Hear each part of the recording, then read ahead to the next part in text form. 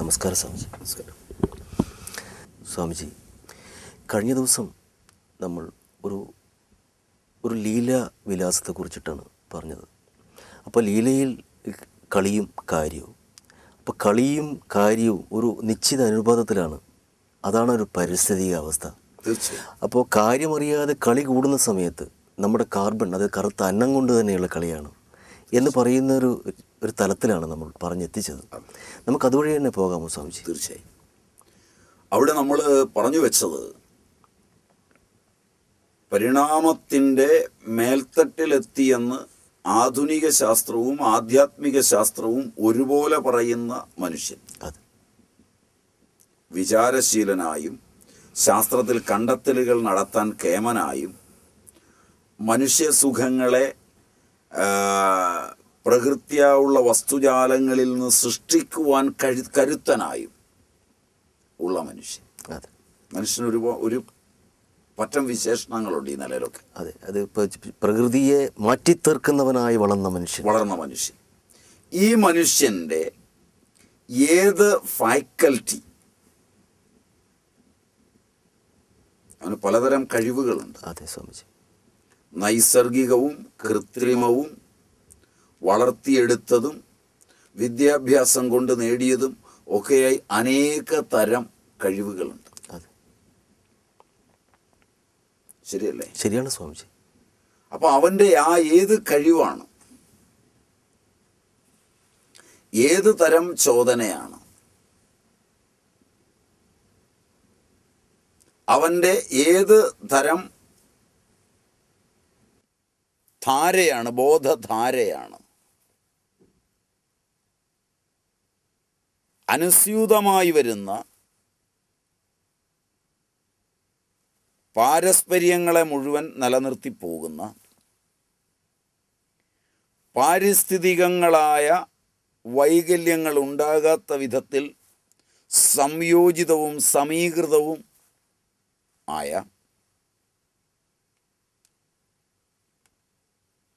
ഈ ഒഴുക്കിനെ തിരിഞ്ഞു നിന്ന് ചോദ്യം ചെയ്യുവാനും അവന്റെ സ്വാർത്ഥമോഹത്തിന് പ്രാധാന്യം കൊടുക്കുവാനും അവനെ കേന്ദ്രീകരിച്ച് ബാക്കി കാര്യങ്ങളെ മത്സരിച്ച് നേടുവാനും എതിരാകുന്നതിനെ മുഴുവൻ നശിപ്പിക്കുവാനുമുള്ള ഒന്നായി പരിണമിച്ചത് ശരിയാണ് സ്വാമിജി. അവനിൽ ഉൽപ്പന്നമാകുന്ന ദുര അവനിൽ ഉൽപ്പന്നമാകുന്ന രാഗം അവനിൽ ഉൽപ്പന്നമാകുന്ന ദ്വേഷം അവനിൽ ഉൽപ്പന്നമാകുന്ന മോഹം. രാഗത്തിന്റെയും ദ്വേഷത്തിന്റെയും മോഹത്തിന്റെയും തലങ്ങളിലേക്ക് മാനവൻ മാറിക്കഴിയുമ്പോഴാണ്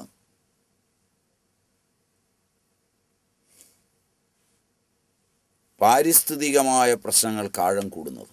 അതെ സ്വാമിജി. അവന്റെ ശാസ്ത്ര മാതൃകകൾ ആരംഭം മുതൽ ഈ പാരിസ്ഥിതികമ പാരിസ്ഥിതികമായ ആന്തോളനത്തെ മനസ്സിലാക്കി ക്രമവിന്യാസത്തിലാണോ ശാസ്ത്രകാരന്മാർ കൊണ്ടുവന്നത് ഭൗതിക ചുറ്റുപാടിൽ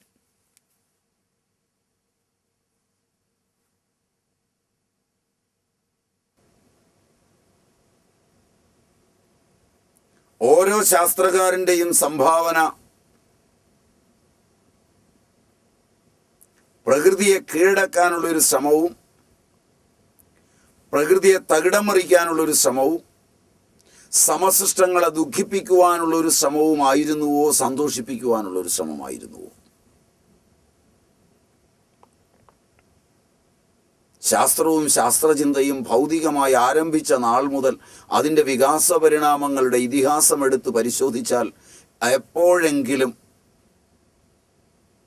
മാനവചേതനയെ പ്രകൃതിയോട് ചേർത്ത് വയ്ക്കും വിധം മര്യാദാമസൃണമായി ഭൗതിക ശാസ്ത്രാവലംബികളായിരിക്കുന്ന ഭരണാധികാരികളും ഭൗതിക ശാസ്ത്രാവലംബികളായിരിക്കുന്ന ശാസ്ത്രകാരന്മാരും അതിന്റെ പ്രശസ്തിയെ ഉദ്ഘോഷിക്കുവാൻ പോകുന്ന വിദ്യാഭ്യാസ വിചക്ഷണന്മാരും അത് പഠിപ്പിക്കുന്ന അധ്യാപകരും അത് പഠിക്കാൻ നെട്ടോട്ടമോടുന്ന വിദ്യാർത്ഥികളും ഈ പ്രപഞ്ചത്തിന് എന്ത് ആനന്ദമാണ് സംഭാവന ചെയ്തത്.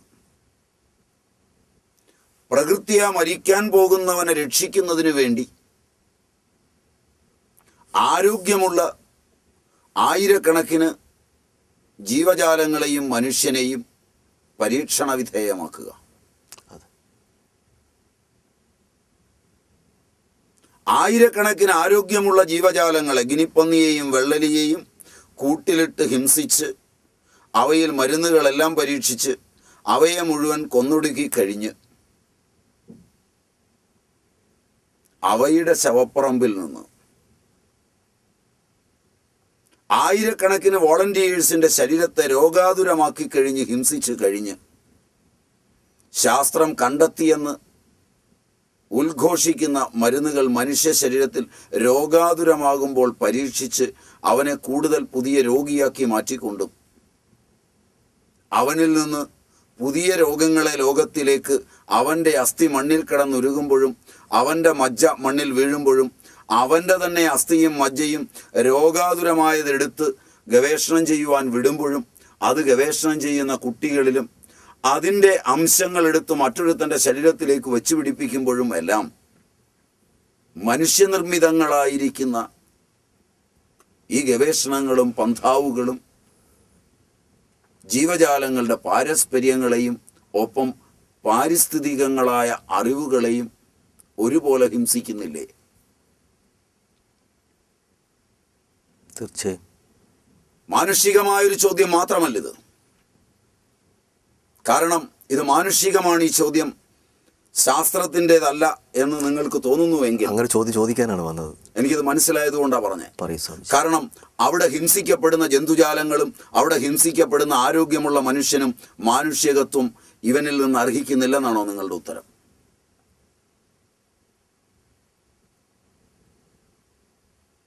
മനസ്സിലായി അവിടെയാണ് ഈ പ്രശ്നം. അപ്പൊ പരീക്ഷണത്തിന്റെ പ്രശസ്തിക്ക് പരീക്ഷകന്റെ പ്രശസ്തിക്ക് മാത്രമാണ് മായ അല്ലെങ്കിൽ അജ്ഞാനം ഈ കാര്യത്തെ ആന്തോളനത്തിലൂടെ കൊണ്ടുപോകുന്നത് എന്ന നമ്മുടെ ആദ്യ വചനത്തിന് കൂടുതൽ പ്രസക്തി ലഭിക്കുകയാണ്. മാത്രവുമല്ല ഈ പോക്ക് നാച്ചുറലായുള്ള ഈ പോക്കിൽ പ്രപഞ്ചം അതിന്റെ സൃഷ്ടിക്രമത്തിൽ നിന്ന് ക്രമേണ വികസിച്ച് നിലനിന്ന് വിനാശത്തിലേക്കുള്ള യാത്രയാണ്. ആ യാത്രയും ഇതിന്റെ ആദിമബോധത്തിൽ അന്തർലീനമാണ്. ഒരു കൽപ്പാന്ത പ്രളയം ഒരു ടോട്ടൽ ഡിസ്ട്രക്ഷൻ സൃഷ്ടി എന്ന പോലെ സംഹാരത്തിൽ അന്യൂനമായിരിക്കുന്നതാണ്.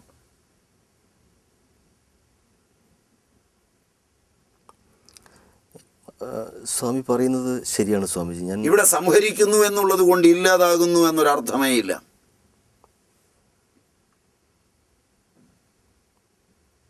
ഓരോന്നും ഓരോന്നും ലയിച്ചു ചേർന്ന് അവയുടെ ബീജം നിലനിർത്തി വിലയം പ്രാപിക്കുമ്പോൾ ഓരോന്നും പുതുതായി ജനിക്കുവാൻ പാകത്തിനായുള്ള ബീജത്തെ അവിടെ നിലനിർത്തുന്നു എന്ന് മാത്രമാണ് അർത്ഥം.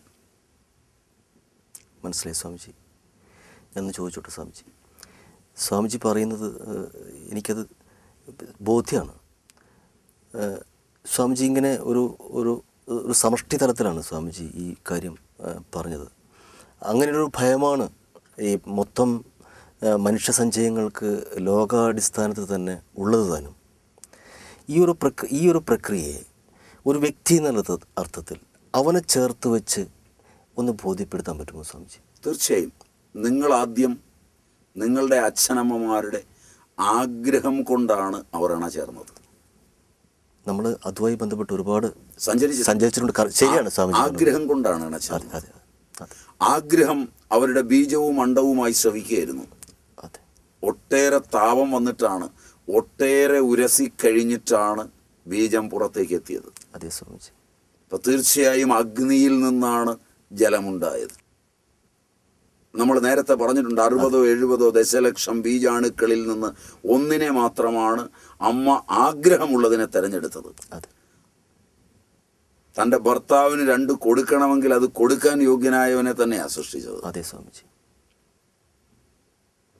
അബോധത്തിലായാലും ബോധത്തിലായാലും അബോധം ബോധപ്രക്രിയയായി മാറ്റാൻ പറ്റാമോ എന്നൊക്കെ ശാസ്ത്രം അന്വേഷിക്കുന്നത് ഉത്തമം.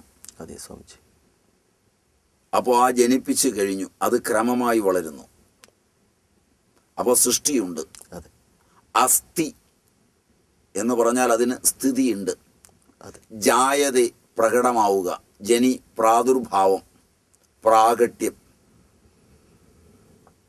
അച്ഛനിലിരുന്ന സുകുമാർജി അമ്മയിലിരുന്ന സുകുമാർജി അമ്മയിൽ ഗർഭത്തിൽ പ്രകടമായി. പിണ്ടമായി അത് ക്രമമായി വളർന്ന് ജനിച്ചു. ജനി പ്രാദുർഭാവി പ്രാഗട്യം. ജനിക്കുന്നതിന് മുമ്പ് പ്രകടമാകുന്നതിന് മുമ്പ് അമ്മയിൽ ഗർഭമായി ഉണ്ടായിരുന്നു. അതെ. അതിനു മുമ്പ് അച്ഛനിലും അമ്മയിലും ബീജാണ്ടങ്ങളായി ഉണ്ടായിരുന്നു. അതിനു മുമ്പ് അജ്ഞേയങ്ങളായ അനേക മണ്ഡലങ്ങളിലുണ്ടായിരുന്നു അതെ. ഇല്ലാത്തതൊന്ന് ഉണ്ടാവില്ലെന്നും ഉള്ളതൊന്ന് നശിക്കില്ലെന്നും ആധ്യാത്മിക ശാസ്ത്രവും ഭൗതിക ശാസ്ത്രവും ഒരുപോലെ സമ്മതിക്കുന്നുണ്ട്. തീർച്ചയായും.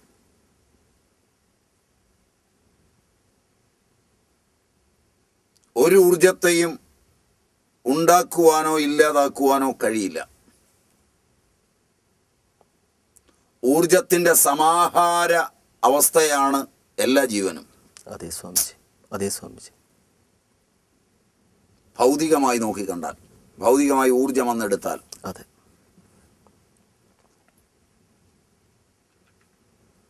നാസതോ വിദ്യതേ ഭാവു നാ ഭാവു വിദ്യതേ സതഹ. ഉഭയോരപി ദൃഷ്ടോന്ത ത്വനയു തത്വദർശിഭി എന്ന് ഭഗവത്ഗീത രണ്ടാം അധ്യായം പതിനാറാം ശ്ലോകത്തിൽ പറയും. പറയൂ സ്വാമിജി.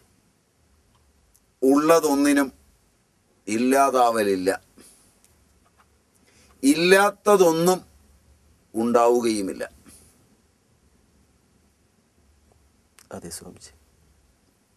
എന്നാണ് അവിടെ പറയുന്നത്. അതെ. ഉള്ളതൊക്കെ മാറ്റിമറിച്ചുണ്ടാക്കാനല്ലാതെ ഉള്ളതിന്റെ പരിണാമമാണിതെല്ലാം. ഉള്ളതിന്റെ വിവർത്തം. ഒന്നും ഇല്ലാതാക്കാനും പറ്റില്ല. അത് സൂക്ഷ്മമായി പരിണമിച്ച് കിടക്കുകയാണ്. ദ്രവ്യം അത് വിഘടിക്കുമ്പോൾ ഊർജമായി പോയി കിടക്കുകയാണ്. അതെ. വീണ്ടും സംയോജിക്കുമ്പോൾ ദ്രവ്യമായി പരിണമിക്കുകയാണ്. അതെ സ്വാമിജി. തീർച്ചയായും അതെ. അതിലെ സംയോഗ വിയോഗങ്ങളിൽ അനുപാതം അനുസരിച്ച് അവയ്ക്ക് ഗുണവും സ്വഭാവവും ഒക്കെ വേറിട്ട് വരും. അതെ സ്വാമിജി. അത്ര മാത്രമേ സംഭവിക്കുന്നുള്ളൂ. ഇത് നമ്മൾ കണ്ടുകൊണ്ടിരിക്കുന്ന ഒരു സത്യമാണ്. അങ്ങനെയാണെങ്കിൽ നിങ്ങൾ ഉണ്ടായി അസ്ഥി ജായത. വർദ്ധത.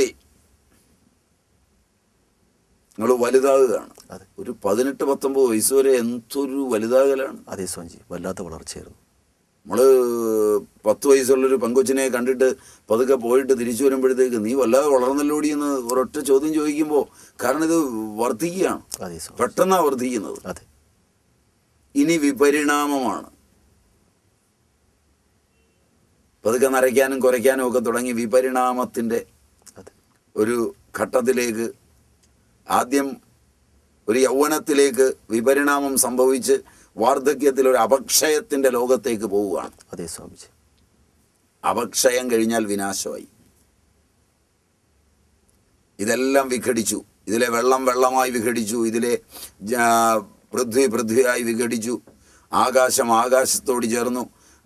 അങ്ങനെ പരിണമിക്കുകയാണ് വ്യക്തിയിൽ കാണുന്നത്. ചോദ്യം എന്നോട് ചോദിച്ചത് സമഷ്ടിയിൽ ശരി വെഷ്ടിയിൽ എന്നാ ചോദിച്ചു. വെഷ്ടിയിലും ഇതേ കലയാണ് നടക്കുന്നത്. ബ്രഹ്മാണ്ടത്തിൽ എന്ത് നടക്കുന്നു അത് തന്നെയാണ് പിണ്ടാണ്ടത്തിൽ നടക്കുന്നത്. ഇത് വിലയം പ്രാപിച്ച് നമ്മളുടെ ശരീരത്തിലുള്ള ഘടകങ്ങളായ പൊട്ടാസ്യവും സോഡിയവും ഒക്കെ മണ്ണിലേക്ക് കലരുന്നു. അത് തെങ്ങ് വലിച്ചെടുത്ത് തേങ്ങയിൽ പൊട്ടാസ്യവും സോഡിയവും ഒക്കെ ആയിട്ട് നിൽക്കുന്നു.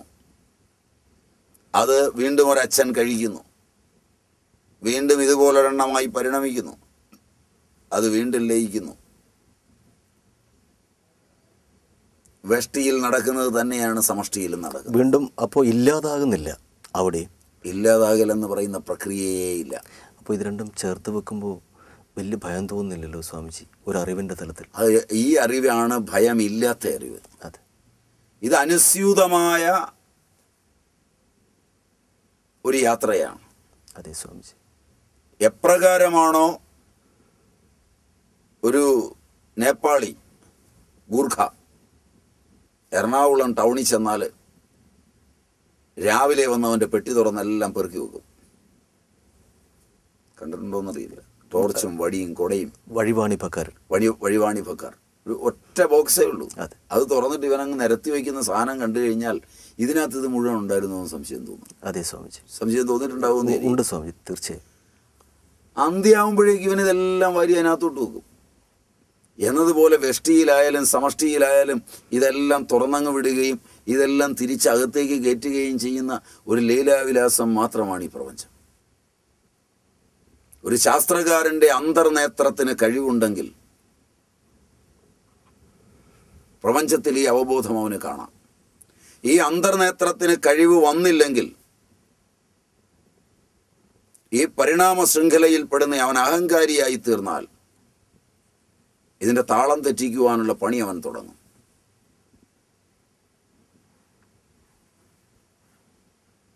അതും ഒരു സമഷ്ടിയുടെ സങ്കല്പനത്തിന്റെ ഭാഗമാണ്. അതാണ് നമ്മൾ അടുക്കോടെ പറഞ്ഞു കൊണ്ടുവന്നത്. അതെ സ്വാമിജി. അതിന്റെ ഹിംസയുടെ കാര്യം. അതെ. അതിനെ എതിർക്കാൻ ഒരുങ്ങുമ്പോഴും നമ്മളും അതായി തീരും. പറയൂ സ്വാമിജി. പ്രതികരണങ്ങൾ എത്ര ഉണ്ടാകുന്നുവോ നമുക്ക് അത്രയും ശക്തിയിൽ ആ ബോധം മസ്തിഷ്കത്തിലുണ്ടായേ പറ്റൂ. അതിനോട് എതിർക്കുക എന്ന് പറയുന്നതിലും ഹിംസയുടെ ചുവയുണ്ട്. അതെ അതെ. നിങ്ങളൊരു സ്ത്രീയെ ഉപദ്രവിക്കുന്നു. ഞാനത് കാണുന്നു. നിങ്ങളുടെ മസ്തിഷ്കത്തിൽ നേരത്തെ കടന്നുകൂടിയ ഒരു പ്രക്രിയയാണ് നിങ്ങൾ തല്ലായിട്ട് അവിടെ പ്രയോഗിക്കുന്നത്. അതെ സ്വാമിജി. അത് നിങ്ങളുടെ ന്യൂറോണിന്റെ സംഭാവനയാണ്. നിങ്ങളുടെ അറിവില്ലായ്മയാണത്. നിങ്ങൾ അവരെ തല്ലുന്നു. അത് കണ്ടു നിൽക്കുന്ന ഞാൻ കുറേ നേരം കണ്ടു നിന്ന് കഴിയുമ്പോൾ അത് തന്നെ എന്റെ ന്യൂറോണിൽ പതിയുന്നു. അവരെ നിങ്ങൾ തല്ലുമ്പോൾ അവരെ തല്ലാൻ ഞാനും കൂടെ കൂടുകയോ നിങ്ങളെ ഞാൻ തല്ലുകയോ ചെയ്യുന്നു. ഇവിടെ നിങ്ങളുടെ തെറ്റിനേക്കാൾ എന്റെ തെറ്റ് എങ്ങനെയാണ് കുറയുന്നത്? കുറയുന്നില്ല സ്വാമിജി അത് കണ്ടു നിൽക്കുമ്പോൾ ഒന്നുകിൽ അവരെ തല്ലാൻ ഞാൻ കൂടണം ഇല്ലെങ്കിൽ നിങ്ങളെ തല്ലണം.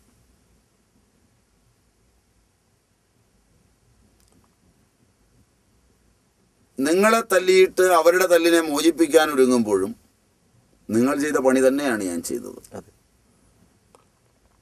അവരെ തല്ലാൻ കൂടുമ്പോഴും ഞാൻ നിങ്ങൾ ചെയ്ത പണി തന്നെയാണ് ചെയ്യുന്നത്. ശാസ്ത്രകാരന്മാർക്കും ഭരണാധികാരികൾക്കും പ്രസ്ഥാനങ്ങൾക്കും ന്യൂറോണുകളിലെ ഹിംസാത്മകങ്ങളായ പ്രവൃത്തി ഉണ്ടാക്കുവാനല്ലാതെ എന്തറിവ് കൊടുക്കുവാനാണ് കഴിയുന്നത്? ശീലം കൊണ്ടും വാസനാജാലങ്ങൾ കൊണ്ടും. അവന്റെ മസ്തിഷ്കത്തെ ഇങ്ങനെ രൂപപ്പെടുത്തി വെച്ച് അവനോട് തന്നെ അവൻ ഹിംസ ചെയ്യുവാൻ പാകത്തിനുള്ള കോപതാപാദികൾ ഉണ്ടാകുമ്പോൾ അതെ അവനോട് തന്നെ ഹിംസ ചെയ്യുവാനുള്ള കോപതാപാദികൾ ഉണ്ടാകുമ്പോൾ അത് അടിവരയ്ക്കണം. മനസ്സിലായി സ്വാമിജി. എന്ന് പറഞ്ഞാൽ മറ്റവനെ തല്ലുന്നതിന് മുമ്പ് നിങ്ങളുടെ ശരീരത്തെ നിങ്ങൾ ഉപദ്രവിച്ചു കഴിഞ്ഞു. അതെ സ്വാമിജി. നിങ്ങളെ ഉപദ്രവിക്കാതെ നിങ്ങൾക്ക് എന്നെ തല്ലാനാവില്ല. നിങ്ങളെ നശിപ്പിക്കാതെ നിങ്ങൾക്ക് എന്നെ ചവിട്ടാനാവില്ല. നിങ്ങളെ നശിപ്പിക്കാതെ നിങ്ങൾക്ക് എന്നെ ഒരു തരത്തിലും മാനസികമായോ കായികമായോ വാചികമായോ ഉപദ്രവിക്കാനാവില്ല.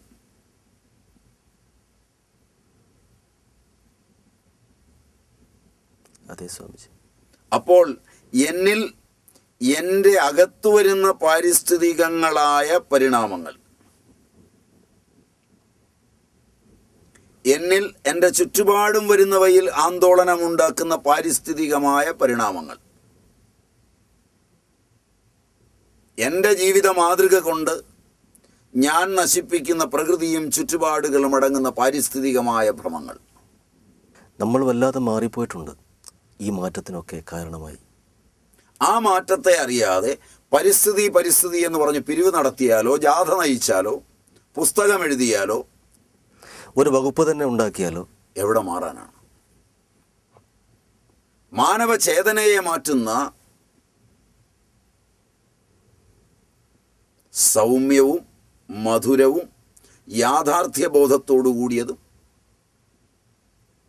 നിന്നിലും നിന്റെ പരമ്പരയിലുമാണ്. നീ ആർക്കു വേണ്ടിയാണോ ഇതെല്ലാം സമ്പാദിച്ചു കൂട്ടുവാൻ ഓടുന്നത്? ആ നിനക്കും നിന്റെ പരമ്പരയ്ക്കും തന്നെയാണ് ഈ പാരിസ്ഥിതികമായ പരിണാമം ദോഷം വരുത്തി വയ്ക്കുന്നത് എന്ന് ബോധ്യപ്പെടുത്താവുന്ന ഒരു വിദ്യാഭ്യാസത്തിനും അതിന്റെ ഒരു അനുരണനത്തിനും അതിന്റെ സജീവമായ ഒരു ഉദ്ഘോഷണത്തിനും ആണോ? അതല്ല ആധുനികമായ പ്രതികരണങ്ങൾക്കാണോ പാരിസ്ഥിതിക വിജ്ഞാനത്തെ നിലനിർത്താൻ കഴിയുക.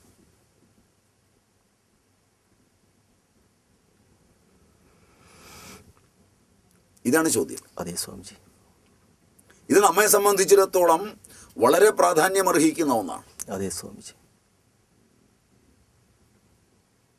അവിടെയാണ് നേരത്തെ പറഞ്ഞ ആയിരം മരങ്ങൾ വെട്ടിമുറിച്ച് തീയിട്ട് കത്തിച്ച് ആ മരങ്ങൾ രക്ഷകരായി നിന്നിരുന്ന നേരത്തെ ഉൽപ്പന്നമായി കൊണ്ടിരുന്ന അന്നത്തെ പചിച്ച് രൂപാന്തരപ്പെടുത്തി ആ ജന്തുക്കൾക്കും മനുഷ്യനും അന്നമാക്കി മാറ്റുകയും അതിന്റെ ഹവിസ് ദേവതകൾക്ക് അന്നമായി തീരുകയും അതിലുൽപ്പന്നമാകുന്ന പ്രാണൻ പ്രപഞ്ചത്തിന്റെ ജീവവായുവായി മാറുകയും ചെയ്തിരുന്നിടത്താണ് ദുരമൂത്ത മനുഷ്യൻ അവയെ വെട്ടി നശിപ്പിക്കാൻ അറിയുന്നു അവന്റെ അഹന്തയും ദുരയുമല്ലാതെ ജീവിക്കാൻ വേണ്ടിയല്ല സന്തോഷിക്കാൻ വേണ്ടിയല്ല സമ്പാദിക്കാൻ വേണ്ടിയല്ല. സമ്മതിക്കുമോ എന്നറിയില്ല തീർച്ചയായും സ്വാമിജി. കൂട്ടിച്ചേർക്കാണ് ശാന്തിക്ക് വേണ്ടിയുമല്ല. ശാന്തിക്ക് വേണ്ടിയല്ല അസന്തുഷ്ടിക്ക് വേണ്ടി മാത്രം. തീർച്ചയായും സ്വാമിജി. ഇത് വളരെ വളരെ വളരെ തന്നെ ചേർത്ത് വെച്ച് അതിനെ കേട്ടില്ലെങ്കിൽ കണ്ടില്ലെങ്കിൽ മനസ്സിലാവാതെ പോയി പോകും. ഇനി മരങ്ങൾ വെട്ടി മുറിച്ച് തീയിട്ട് എന്ന് പറയുന്നതിലുണ്ടാക്കിയ കാർബൺ. അതിരിക്കട്ടെ അവിടെ. അതേ സ്വാമിജി. ഫാക്ടറികൾ തുപ്പുന്ന കാർബൺ. കാർബണിന്റെ ആയിരം ആയിരം തലങ്ങൾ.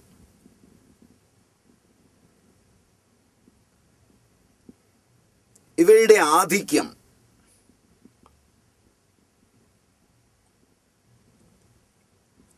സൂര്യൻ ആദാനകാലത്തിലും വിസർഗകാലത്തിലും അത് നമ്മൾ നേരത്തെ പറഞ്ഞിട്ടുണ്ടോ? ഉണ്ട് സ്വാമിജി.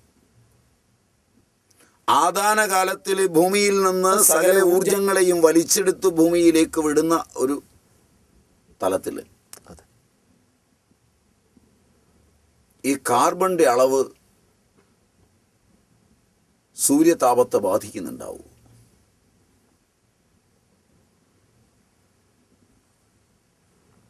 സൂര്യന് അതിന്റെ ഉത്തരദായിത്വത്തിൽ പ്രപഞ്ചത്തിന്റെ പൂഷാവായിരിക്കുന്നിടത്തോളം സൂര്യനെ സംബന്ധിച്ചിടത്തോളം സൂര്യന്റെ ഉത്തരദായിത്വത്തിൽ. എന്നെപ്പോലെയും നിങ്ങളെപ്പോലെയും ജീവനുള്ള ഒരു സൂര്യൻ അവിടെ ഇരിക്കുന്നു എന്ന് സങ്കല്പിച്ചുകൊണ്ടാണ് ഞാൻ സംസാരിക്കുന്നത്. മനസ്സിലായി സ്വാമിജി. ഒരു ജ്യോതിർഗോളം എന്ന നിലയിലല്ല. മനസ്സിലായി സ്വാമിജി. തികഞ്ഞ ഒരു അന്ധവിശ്വാസത്തിൽ നിന്ന് നിങ്ങളും ഞാനും ബോധപ്രക്രിയയിൽ എന്താണോ അതുപോലൊരു സൂര്യൻ ജ്വലിച്ചു നിൽക്കുമ്പോൾ അവന്റെ ഉത്തരദായിത്വത്തിൽ. ഇതിന്റെ വിപരിണാമങ്ങൾ ഏറ്റുവാങ്ങിക്കൊണ്ട് ഈ അന്നത്തെ മുഴുവൻ പചിച്ച് ജീവജാലങ്ങളിലേക്ക് എത്തിക്കുക എന്ന ബാധ്യതയിൽ താപം കൂട്ടേണ്ടി വരുന്നുണ്ടോ?